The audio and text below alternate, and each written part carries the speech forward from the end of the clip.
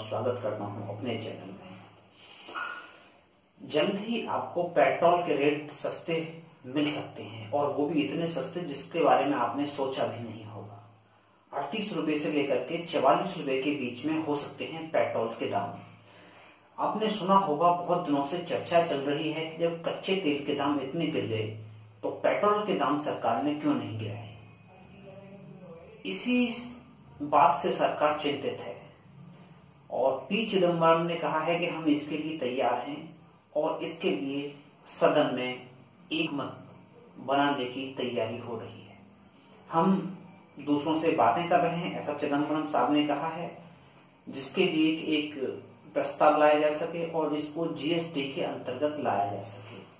GST में मान लीजिए, अगर बारह परसेंट लगता है तो इसका दाम हो जाएगा लगभग पेट्रोल का अड़तीस रुपए।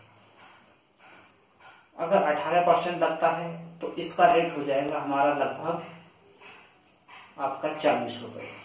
और अगर 28 परसेंट लगता है तो इसका दाम हमें पड़ेगा लगभग चवालीस रुपए। तो अड़तीस रुपए से लेकर के चवालीस रुपए तक पेट्रोल के दाम हमें मिल सकते हैं बहुत जल्द।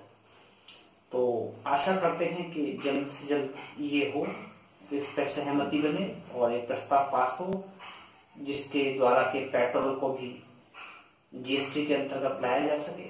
तो आशा करता हूँ आपको मेरा ये वीडियो ज़रूर पसंद आया हो पसंद आया हो तो सब्सक्राइब करना ना